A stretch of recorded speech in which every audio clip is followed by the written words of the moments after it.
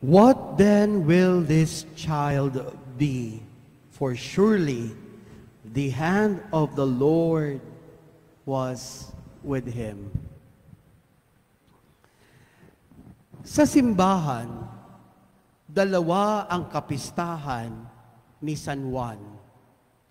Ang kanyang pagsilang na ating ipinagdiriwang ngayon, June 24 at ang kanyang kamatayan na mas kilala sa tawag na Passion of Saint John tuwing August 29. Para sa ating pagninilay, hayaan ninyong gamitin ko ang pangalan ng dakilang propetang ito sa Ingles bilang acronym.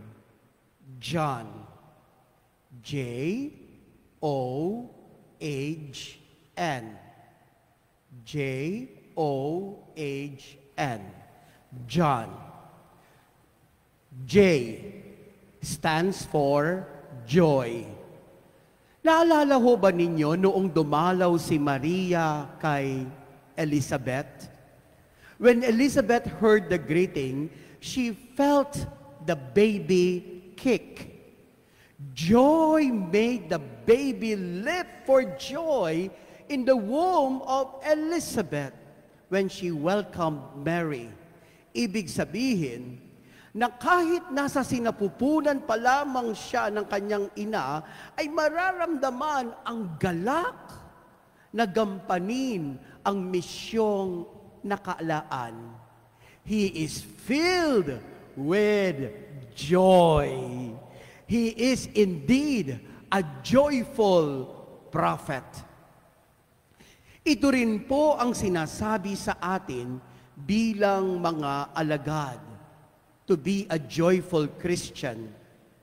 Sabi nga ni Pope Francis in his homily at the morning mass at the Casa Santa Maria, joy is not to allow ourselves to throw up our arms in despair in our misfortunes.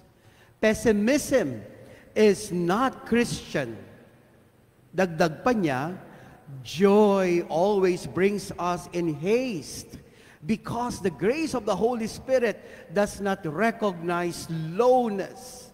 It always pushes us going forward and forward and forward like the wind in the sails on the boat. J, joy. O, offer, offer. My friends, John offered his whole life to prepare the way of the Lord. In His offering of life, makikita natin na talagang sineryoso niya ito. Sineryoso niya. Hindi po siya papetiks-petiks. Ang kanyang pag-aalay ng buhay ay todo. Todo na lubos. Todo ng ubos. Todo na buhos. Kaya makikita natin kung paano siya nabuhay. Mahilig siyang mag-fasting. Hindi lang tuwing Ash Wednesday, hindi lang tuwing Good Friday, mahilig siyang mag-fasting. Sa katunayan, ang lagi niyang kinakain ay honey, mga insekto tulad ng locust and grasshopper. At saan siya nakatira? Sa disyerto. At anong kanyang pananamit? Hindi Giordano, hindi pen shop, kundi camel skin. At kung magdasal siya, day and night. Don't get me wrong, na dapat magsuot din tayo ng camel skin, makatikayayan at kumain ng mga insekto. Yuck! Wala po akong sinasabing ganoon. The point is this. My friends, John did not let anything get in his way, but kept his heart set on Christ. Even when he could have chosen his own way, he did not allow his own desires or even other people interfere what he knew he was there to do. He lived with focus, determination, and purpose. He knew and understood God's call, and he pursued it with his whole heart and life. He offered his whole 100%.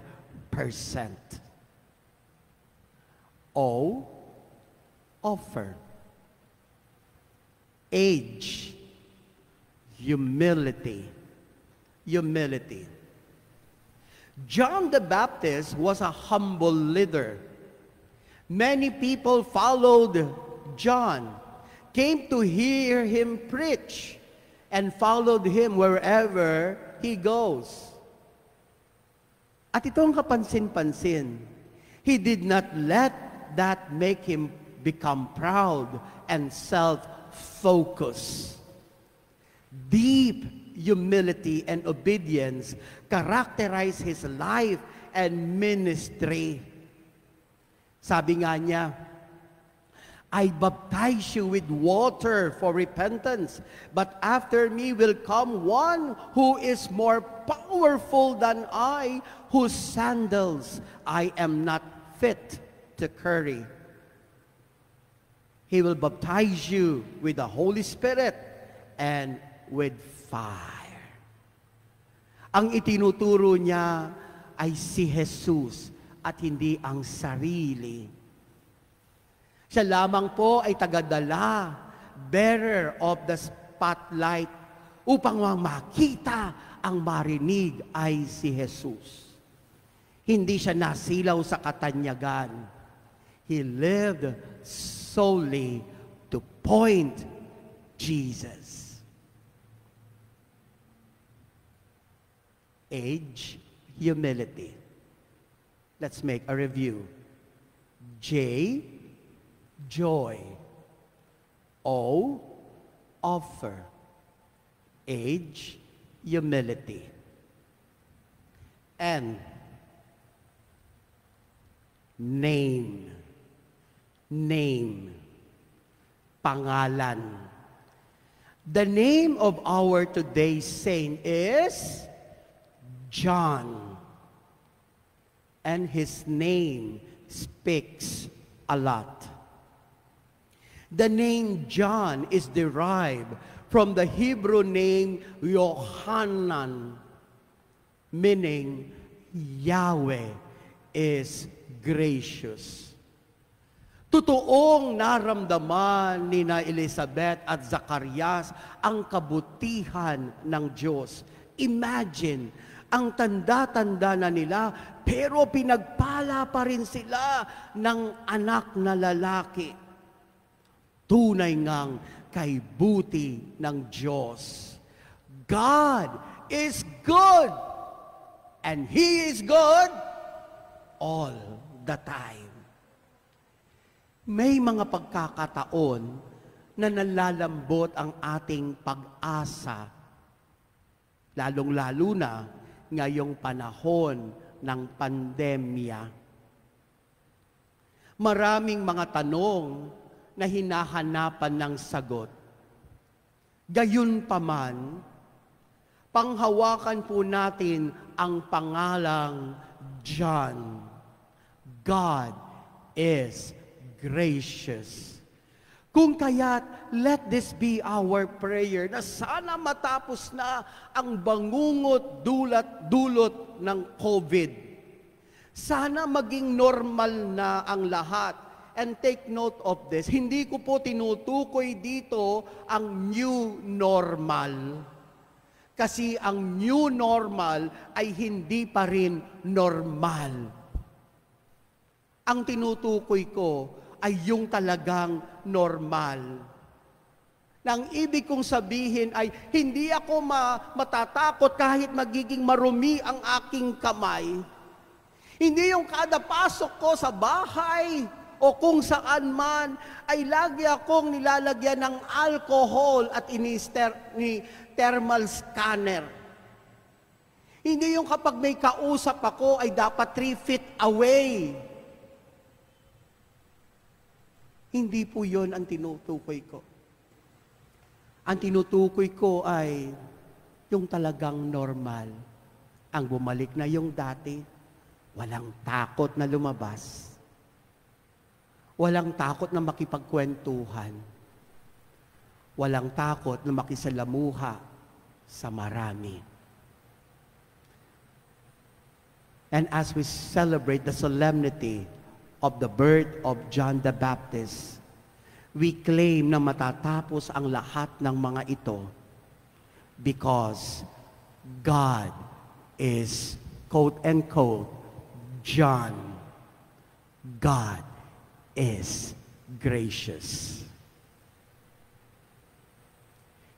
J, joy. Mabuhay ng may galak kahit maraming mga pagsubok. O, offer ibigay ng todo ang buhay sa Diyos. Hindi 25%, hindi 50%, kundi 100%. Age, humble, humility. Be the bearer of the spotlight at hayaan ang Diyos ang manaig, ang makita at marinig. Name and name. God is gracious. Hindi tayo pababayaan ng Diyos manalig, kumapit. John.